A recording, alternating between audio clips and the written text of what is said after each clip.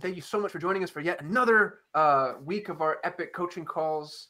Um, we're doing these live now, which I'm really excited about. We do this every Thursday. It's 10:30 a.m. Pacific or 1:30 p.m. Eastern. If you can join us live, um, that's always great because you get to engage and ask questions and, and really be a part of the show. If you can't, it's no big deal. Uh, we record these, we put them up on YouTube, and we also host them on um, uh, the, the Nido members area. Uh, joining me as always is our illustrious community manager, Deneen Goncalves. Deneen, thanks for being here. Yeah. And uh, we have our very first. Is this our first? Second. This is our second, and we have our second. I'm not trying to glaze over the first one. Sorry, we have our second, but it's our first um, member interview. Mm-hmm. Yes, we have a very first member interview uh, here with us from Acton Academy. This is David Kirby. Dave, thanks for being here. Really appreciate you. Thank you. Uh, and we're excited to talk to you. So I'm maybe going to step into the background a little bit because Deneen, I think you're going to be better positioned to uh, start lobbing up some questions for David just to get his senses to, you know, let's go all the way back. How we started in Montessori, what the what the the whole the whole view was, and I'm telling you how to do your job, and you already know. Sorry. no, it's all good. Um, Dave, we're so excited to have you, and I know, um, you know, there are curious members out there that want to know your story and kind of, um, you know, hear from you and tips and all that good stuff. So, can we start just by, you know, getting a quick bio? You know, what's your background? How did you find Montessori, and what really pulled you into Montessori, and eventually leading you to opening a school? So, um, first and foremost, my wife and I are parents. Uh, this journey started when we had our daughter, uh, Madeline, who, as I said, she just turned five uh, this past weekend. Um, I went to a Montessori school as a child. My wife went to an alternative school. Uh, we're here in Washington, D.C., and as nervous parents, she was like pregnant, and we're looking at schools that's everywhere has got a wait list, and we just didn't see the kind of joy that we remember from our own childhood and the schools that we had visited before we even gave birth to Madeline. So um, we heard about Acton Academy, which is a sort of Montessori-based school um, in elementary, middle, and high school. It kind of takes Montessori into the 21st century. And I knew the founder through work. I was a think tanker. And he said, hey, if you'd be interested in starting an Acton in your own community, come and check it out. And so, um, eight months pregnant, we said, well, maybe we could do this. We submitted an application he says, Congratulations, you're the owner of an Acton Academy in Washington, D.C. Come on down to see whether you want to like do this. And Madeline is born. so six weeks old. We take the first plane flight, Madeline's life, down to Austin, Texas to check out the original Acton Academy. We spent the entire week there and we were completely blown away by what we saw. It was the joy we mm. saw as a parents, like with our first daughter because the joy we remembered when we were in Montessori schools. And we said, this is it. Either we're moving to Austin, Texas to start our child on the wait list at Acton Academy, or we're going to try to open one in DC. And it took us five years, five years to do it in DC. So this has definitely been a journey. And my um, um, we are not Montessori experts. We've never been principals or heads of school. We're first and foremost parents. So I, I just make that caveat that we're, we're, approaching this with fresh eyes and uh, happy to share the, the challenges along the way.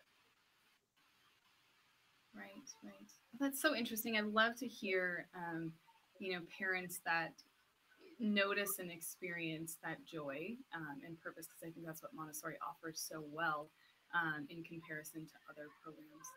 So, can you tell me a little bit about your journey, starting from you know opening Acton and then, well, at least signing on to Acton and then opening yeah. it, which was this last school year or this school year, right? You opened yeah, brand new. We opened in fall. fall. Yeah. Um, so in Washington D.C., like a lot of urban environments, finding the right space and putting together the project is this huge enterprise, and so um, it all came mm-hmm. together kind of late and the most important thing that came together late was actual students who signed up to be at our school. so, as a startup, you're like, we're going to build this. Parents are going to love it. We're just full of enthusiasm and heart and hustle. And four weeks before we opened, we had two students. Two students. Actually, I take it back we had three students six weeks before we opened, and one dropped out. Oh no. So we're like, we're going in the other direction. And it was around this time we hired Nido to help us mm-hmm. because we were like literally not sleeping at night. Are we going to open or not? Like, what are we doing wrong here? Like, we have a program, we have a wonderful team. Like, how can we sell this thing? And the weeks are ticking. So, um, I can't tell you how valuable Nido is. We can dig into all of how you guys helped us, but we made it in the four weeks before we opened. We, we sold seven more families. We started with nine. We now have 15 families who are starting in March. So we just are starting our wait list for the fall because we have 28 families who've committed for the fall. Just on Friday, we had our architects back over and we're opening a second studio. We're looking at the new space so we can keep going um, because we have so much demand. We'll probably be at 36 in the fall. So we will have gone from 9 to 36 or about 4x growth in our first year. And it was really kind of getting thoughtful about marketing and sales that got us there and taking us from naive parents who just want to do something great for our child to semi sophisticated Montessorians who can build a program that um, is worth it for families. Right. Wow, what a journey in such a short amount of time. Um, do you mind me asking how you found Nido? How did you come across us? Google search. what else? right? but the thing that sold us is your copy. Like Nido just put on paper some of the struggles that we were facing. Your blog posts, the knowledge, the community, the tips, the all of that we read everything. We're just those kind of people. Um, you know, I was a think mm-hmm. tank scholar before. I'm used to like digging into deep papers, like um, with lots of mm-hmm. footnotes and exhibits, and like I want everything you can give me before I make a decision. Mm-hmm. And so we read every single thing we could that you know put out, and we're like, these guys know what they're doing. I can tell because it's deep. It's like several layers deep. Um, so that's that's kind of how we did it. And then when we, when we talked to you guys, I think it just proved that you also had the same heart and hustle that we did just as a startup. Um, and we're like, you know what? Some people who know what we're going through who can help us. That's exactly what's going to be helpful. That's great feedback. Um, when you so before you kind of dove into the whole marketing world of a Montessori school, did you have some marketing background before doing that? Uh, I did, and I think this um, is maybe filed under the hard lesson learned. Um, my wife and I both had backgrounds in marketing for large established organizations, hmm. think tanks that have been around for 40 years, Washington D.C. institutions. Um, so the way we interacted with marketing was like more abstract. Like we knew how to look at data, we knew how to um, target, we knew how to write copy. What was surprising is that that's not what this is about. This is about face to face sales. And like marketing is different than sales. Like I can get people here, but I have to look them in the eye and tell my story and convince them to part with $25,000 a year for their child to do something great with um, in Montessori. And like that was the chasm for us to cross because we had plenty of marketing experience. We ran an event. We our, our email list is 1,800 because we wow. built an email email list from a program we do called the Acton Children's Business Fair. But sales was the thing that was surprising for us. That yes, marketing excellence is one thing, but selling is actually a little different, and you have to be excellent at both.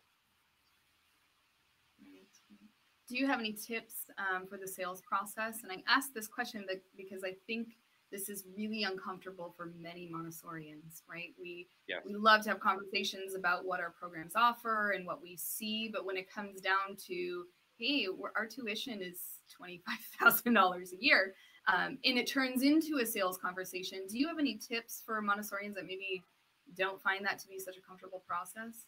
Um, well, first, let me validate that feeling. Like we felt the same way. Who are we? We're parents. We don't even know what we're doing. Like sales is icky. Like I'm not even confident my program for twenty five thousand dollars is going to be great. Like I, I, am, but I have a little deep insecurity about that, and I'm trying, you know. So um, let me just validate that. That was certainly our experience. Um, Mhm. there was a wonderful um, book that I read and some advice that I got, and uh, uh, a friend from the Acton Network, who I called in panic because we weren't having much success, said, um, "Listen, selling is no more than just telling your story and all the love and passion that made you take the first steps. Hmm. Tell that story every single time." Mhm. And people might not even remember the story, but they'll remember how you feel, how they felt about that story, and they can relate to you as a parent. Like, tell that Mhm. story. Selling is about telling stories, and then people will open up and tell you their story, but what they want for the child and their hopes and dreams. And so Right. um, we kind of took a step back and said, "Ooh, it's not about selling all the little features of Montessori, and let me show you the material that's going to be like blow your mind." It's no, we're parents. We're on a journey. We want this for our own child. Our daughter's in the program. Let me tell you who we are, and like why this matters to us. And that changed our success like overnight. I mean, it was hard. You have to practice your story. You have to get it right. You have to repeat it over and over and over, which feels uncomfortable every Mm. time. But that was, I think, the number one tip. Um, there's a terrific book called To Sell is Human by Daniel Pink and I think it's like chapter seven of that book is about the Pixar framework for selling. And the idea is Pixar, they're like storytellers. They have a framework for every Pixar story. You know, once upon a time there was fill in the blank, and then um, every day it was the same thing, and this is what it was. Then one day something happened. Because of that, this happened, and because of that, this happened, and then at the end we emerged changed somehow, and that pattern, it's like a narrative of your, your journey, is what resonates with human beings. We're storytelling creatures. So like tell your story, follow the Pixar framework. Don't leave out the details. Like you're a you're a human. So um, that was my one lesson learned, and that's been the most effective thing, hands down, for Nicole and I. I just bought that on Kindle while we are talking. Oh, Um, wonderful! So, David, what I hear you saying is, you know, the story in helping somebody connect with you, um, you know, helps helps them know that you're a real person, right? And so, as parents, we're always looking for somebody, um, you know, trustworthy to take care of our children. So, if if it's fair for me to summarize it like this, where rather than selling your program, sell your story, um, and and then you can bring them in and show them what the how the program matches their story. Totally. Um, totally. am I summing that up correctly? Yeah, yeah, exactly. They want to know who you are. They want to know you can Yeah. deliver. You Oh, believe that's in it. You believe in it so passionately that you're going to put your own child in the program. Like that's a huge signal. And then, great, I can tell you all about the wonderful things about Montessori, but that's sort of icing on the cake. That's the features, not the benefits. The benefits is like, hey, we're on a journey to do something great for our children and your children too. Um, Hmm. you know?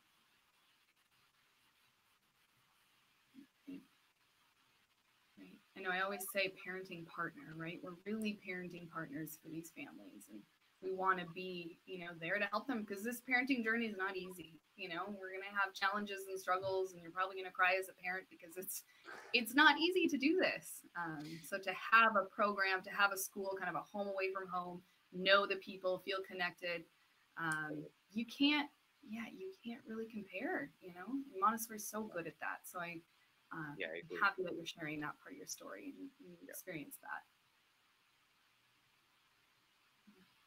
See, Kasim, do you've got any like direct? I mean, you know, digital marketing is kind of your your realm. Um, so I'm wondering if you've got some specific questions for David when you think about, you know, a new program in a fairly competitive space in Really DC. Um, yeah. So, do you have any questions you want to ask him that can kind of support our member base, you know, for digital marketing? Before I ask a question, I actually just want to make a statement. Um, one thing that I, David, I think you and your wife did just so well is um, really follow the instructions we gave. A, which I appreciated, but then B, you took it many steps further. And so, just a few examples like we have an automated email nurture that we ask our members to use. And if somebody opts into your list, they receive these, I think it's seven, these seven emails. Well, you took the emails and, and completely made them your own. So it wasn't just a copy paste environment. You you rewrote them. And and I think you actually added some to the series and you you sort of changed the direction they were going into. Uh, and I was just so impressed with how you you know you took what we provided as a guide and and just made it better. Can you talk a little bit about your propensity to do that and where that comes from? Um, thank you for uh, for saying that, uh, Kasim. At least for us, we are approaching all of this from a, with fresh eyes. And the thing that, um, because we're beginners, we've never done this before, right? And so the thing that was most helpful for Nido was giving us world class examples to start from. I don't know what a Montessori welcome series emails looks like, but Kasim just gave me a pretty good one. But the thing that struck it for us was it sounds like Kasim, or maybe it's Matt. I don't know who wrote it. it that was Matt. It doesn't sound like us. Right. But that's okay. This email series has seven. There's these things in it. I might, and so I think Nicole and I are professional editors in our life. Like we've we've worked on writing, um, and so everything we saw, we're like, oh, that's good, but oh, that's not us. Mm. But that's okay. Like I need an example in order to be inspired about how to build this. And so the Welcome series was an example where we said, you know, it's going to take us a lot of time, but if we make it sound like us, it's going to be that much more powerful. Because then when families come and see us, then they hear our story. It sounds like us. Mm-hmm. The copy on our website sounds like us. Like everything is authentic to who we are. And for me, the lesson learned was there is no substitute for the hard work, because it's really hard work to write your own copy, particularly at the early stage, because those words are going to be your brand. They're going to be your mission. They're going to be, and I can take Acton Academy is part of a network. There's 138 Acton Academies around the world, but the one in Guatemala is a little different than the one in Austin, Texas, and the one in Kuala Lumpur, like Malaysia, and in DC. And mm-hmm. everyone mm-hmm. should take what they give us in Austin and write their own copy to make it our own. And we did the same thing with Nido. And so I guess it was just our propensity as editors, but also our propensity to just, hey, that was really helpful, but let's make it That's true for every Montessori school. I think the beauty of Montessori is just how personalized it can be. Yeah. And and so one point I'm just going to hop on a soapbox for seven seconds, but one point I want to stress that I love that you brought up, David, is the fact that the Nido content is great and it's there as a guiding light, but when you can take it and make your own, that's really synergistic. One plus one just became three. And and I think that you're perfect examples of that. Yeah, and one thing I've learned from the Acton network um, is share your stuff back into the community. Hey, this is what we do. It works for us, and if it's inspiration for you, terrific. So if you you're you're welcome to share with the Nido community our welcome series of inspiration please don't use it word for word, but, but, but if you want another inspiration, um, by all means, um, we're happy to, to share because um, everyone is a little different in our own market. That's so generous of you. Melissa just asked a question of you, David. She said, We're starting our email nurture and thought the same about the templates. Next week, we're meeting to customize them. Do you have any tips? Yeah, have ours. I, am happy to share the. Um, Melissa, I'm happy to share, our welcome series by email, or I can give it to, to Kasim and to share it with you. It's just in a Google Doc, so it's easily shareable. Yeah, we'll make it a downloadable link from this video. Is that acceptable? That's fine. And we'll add a little note saying, you know, this isn't this isn't meant to be copied word for word. Uh, making a note now. Well, it's, it's got our story. It'd be weird if it was your story too. My five-year-old Madeline. Um, yeah, that's really funny uh, note made, Acton nurture to video. So I have another question for you, David. This is going to be really annoying. This is the marker in me. Okay, so we're about to get into Nido. Um, talk a new potential member out of working with us. What are the reasons someone shouldn't start with Nido? What and and and let's get dirty laundry here. What are the worst things that we did? The biggest mistakes that happened? Um, ways that you would have mitigated risks? Like throw me under the bus as much as you're capable of because I think that that might be my best sales pitch. Um, if I were to say, don't do it, it was it would be because of the copy. Hmm. That's great. Because um, unless you're willing to put the work in to making it your own, you're like substituting somebody else's Montessori for your own. I'm, Hmm. I'm, I'm making this argument perhaps a little um, stronger than I believe, but if I were trying to convince somebody, um, okay, if you're not going to write the copy and you're just going to take the welcome series wholesale and you're just going to take all the ads, it's not not going to work for you.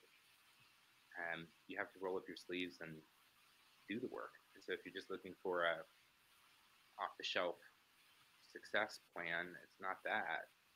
So I guess it's more managing expectations. Um, and I would say, I just give you guys a hard time. Like some of the Google ad copy wasn't quite right. So like everything required just a little. We're like annoying editors, but like everything just needs to be tweaked.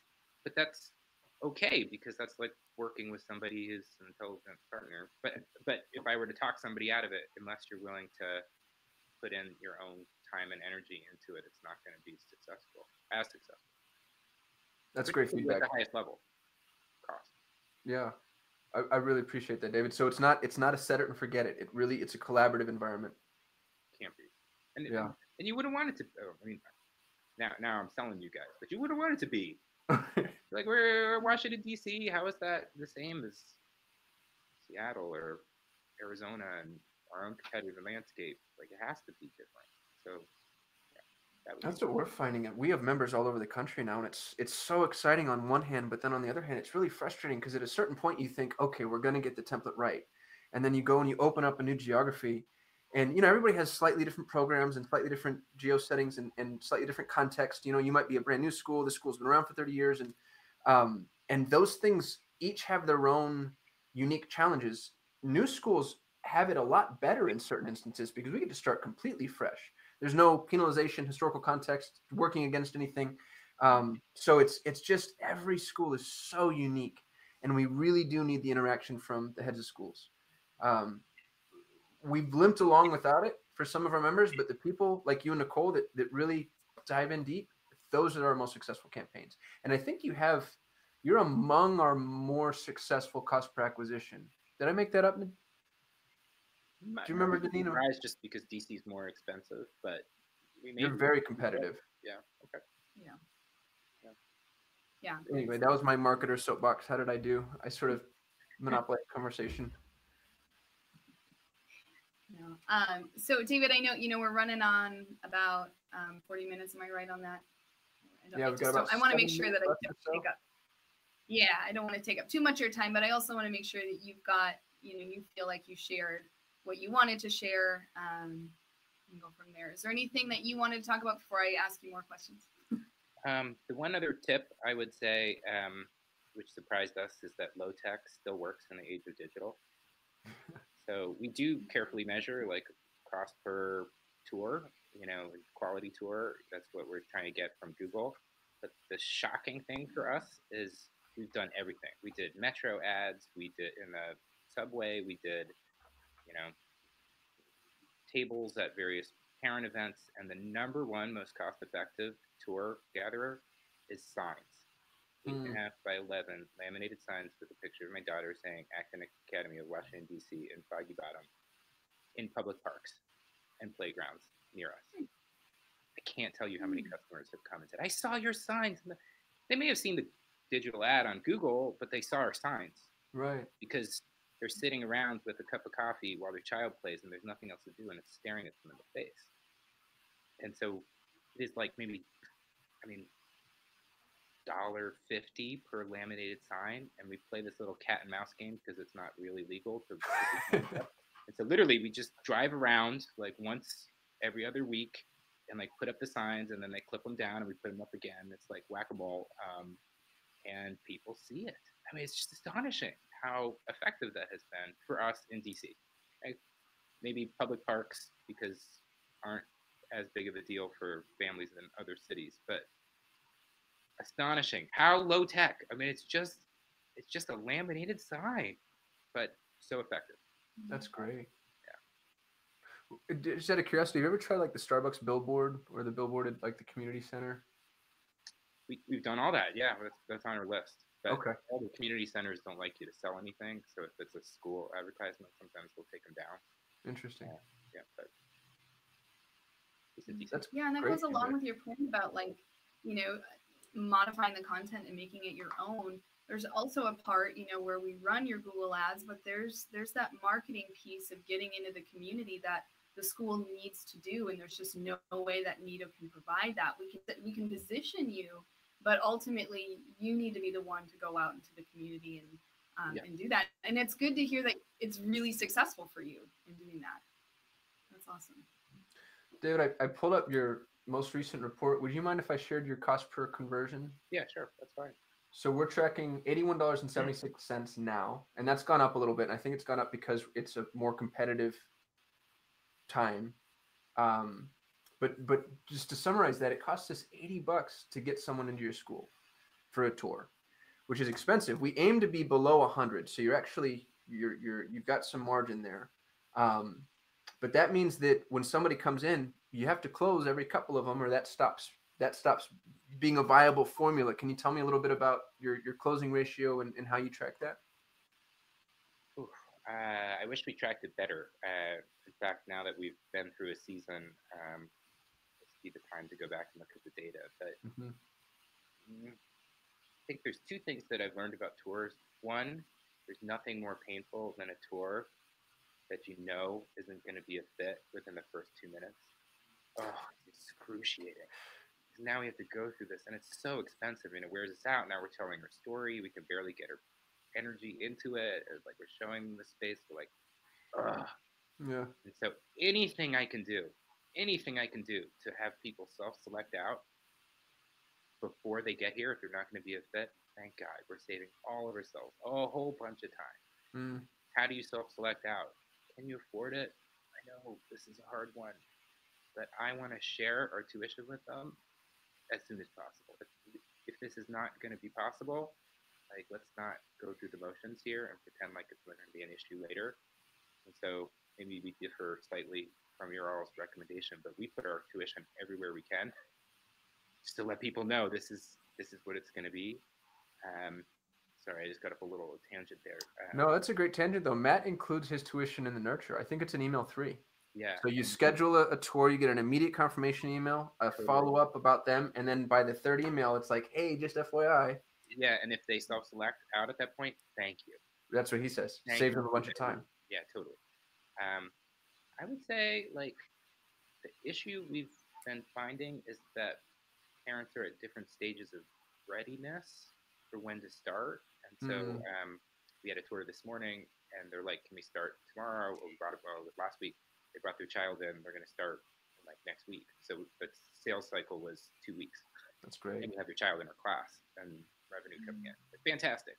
But others are like coming in the six week old, put deposits down forever. And so I think the hard thing for us is measuring like sales cycle because they're not going to put down a deposit, but they're here, they're in our, it's like not everyone is a quick sale Right. even for this next fall. And so we're, we're struggling with how to measure properly, like ultimately closed sales, because it could be a three-year time horizon. That, if that makes sense. No, what a unique problem too. I, I I spoke at the AMI conference this weekend and I made fun of Montessori parents. I called them neurotic multiple times, and every time I said it, I got like this really crisp, laugh out loud moment from the audience. And it's because I think I, I didn't even realize how closely I hit the nail on the head. But I mean, for somebody to make like a three year preface in their research is to I don't I didn't shop for my house with that much timeline. You Totally, know, I mean, we had about sixty days. It's it's unbelievable. Totally, totally. And so I don't know what our close rate is going to be. hmm Because if I had a family who came in with a five-week-old and they're on our list and they kind of hear about us, will they close two years from now? Maybe. I don't Right. know. Uh, so jury's out. That's helpful for me to know. I think it's helpful for our members to know too, because it's part of the nuance of digital marketing. It's not an, an ATM. You put a dollar in, you get two dollars out. You know, you put money in, you get a student out of it. It's just you had the opportunity to get in front of a mission appropriate parent, build a relationship, possibly nurture them. And sometimes they close, other times they don't. But you know, hopefully over time it ends up being kind of a profitable ratio. Yeah, and we've heard this from families who've come back and actually decided to send their children here. Like they go to these other schools and they don't hear the story. Mm, They're like, yeah, they kind of going through the motions. They've been around 25 years. They have some young person who's on the admissions team who's walking me through. They're not even parents. And I, I came to Acton and I remember how I felt. I felt like these are people like me. These are parents who care, who built this school after five years of hard work for their child. Like that's what they remember two years from now. And they don't remember the materials or the, I mean, it's, it's the whole feeling. So I'd rather leave them with that than anything, particularly That's a- long sales cycle. Great take home message too, I think, for our members is tell your story. I'm gonna push that. I don't push that nearly enough. I think I, I sort of speak to it as a platitude just because I know you're supposed to. Like, hey, mission, vision, values, go over here and let's talk about the real stuff. But you're right, it's just so critically important. What else is there? What else is there? Yeah, very well said. Uh, we're 60 seconds over time, but I have time if you do. Do you want to do just kind of a quick fire? What what can we do better? What do you want to see Nido do next? What's on the horizon for you? I would love Nido to help us crack the code for elementary marketing. Okay. Noted. Mhm. We started, we're actually having some success there, but I think you guys have just nailed it for Montessori primary. We're rocking, we're growing, we're like super happy with the way that's working. Like elementaries, it's another another nut to crack. It really is. It's a whole different animal. It, from a not just a tactile perspective, like in the school, but from a search perspective, what we're finding is when Mhm. you start going higher up in those programs, people search differently. Yeah, totally. But we're having some success. We had one Google search project based learning who came and they're enrolling their child next week. That's awesome. eight year old. Great. That's how they found us. So great search term. But uh, I wouldn't have picked that project based learning. Okay. That's the brilliance of Google. Is every time we get a conversion, everybody's like, "Wow, that came from left field. I had no idea that." You know, you're never. If you were to bet on all of your key phrases or all your ad copy up front, you're never right. I- I mean, I, the most I could do is just bet that I'd be wrong, and then I'd be right. Mhm. so we'll work on that, David. Elementary marketing. Um, It's going to be hard. It is, but we're up to the task. We have a few elementary based Montessori schools. Uh, Mission Pari up in, in San Francisco, she's her campaign's actually been very successful. Oh, But I, th- I think it's because of where she is, and um, she's the only Montessori elementary school available in her area. So we, we were able to kind of carve out of pocket. But she still has to. We still have to find a way to massage it. But I think we can crack this code. I'm, I'm excited about it. And I think one of the challenges for us is the children need to have, it's, a harder fit for the child to transition into elementary. Mhm. And so it's the challenge of what is a good tour? A good tour is a family who is in good shape, but the ones that are harder is we got a behavioral problem at another school and they're moving to our school to see if this is going to be the one that's going to fix it. Right. And it, we, we can't always serve those families, at least the way we're set up. And so it's kind of a harder, how do I let those kind of families self-select out? I, I don't know the answer to that. I'm just bringing that problem. That's what we've seen. It's like a harder, not every child is capable at 12, 10 or 12 years old to join a elementary program and succeed. I mean, I believe they are, but maybe we're just not capable of where we are to support that. Well, I think it's it's well stated. Matt actually, I don't know if you know this, but in the very beginning, Matt didn't want to take on schools that had elementary programs or didn't want to market for elementary programs for that exact reason. He said it's he, I've done it before, been down that path. It's so much more difficult for all these reasons. And then over time, as we kind of massaged it, we we began, we we dipped our toe in. But every single school we work with that has an elementary program that they want to market gets the exact same preface. Oh, wow, It- interesting. Well, I'm, I'm glad as the naive first timers here, um, we're discovering the same thing.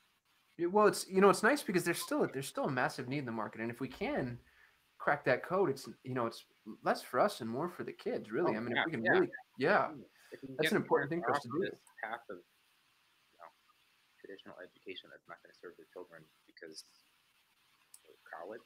Like I'm worried about that. Elementary school. Give me a break. right. David, thank you so much for being here. This has been awesome and a blast. Oh, Deneen, I'm sorry I interrupted you. Yeah, no, it would be interesting to have that conversation because there's so many schools that struggle with that, you know, and if you think about, you know, the admissions process for elementary programs and how to select elementary families and what that looks like if you have them visit. And um, that would be a really great conversation to have um, for schools that have elementary programs because I guarantee everyone is experiencing the same thing, and the same struggles. Yeah, that absolutely. it. That's all. That was awesome. David, thank you. This has been fantastic. This Very is going to go live. Thank you. Thanks for all your help. Yeah, we'll shoot you an email once this is posted on our site. To all of our, our live participants, uh, let me give some shout outs. Christy, Melissa, Beth, thank you for being here. Thanks for your questions. Thanks for your participation. If you want to join us live, you can always do that. It's every Thursday at 10:30 a.m. Pacific, 1:30 p.m. Eastern. Um, and yeah, we're gonna have more awesome guest speakers, just like David. And uh, so please stay tuned. Um, Deneen, thanks for your time, as always. Thanks, everybody. Yeah. Thanks, y'all. Take care.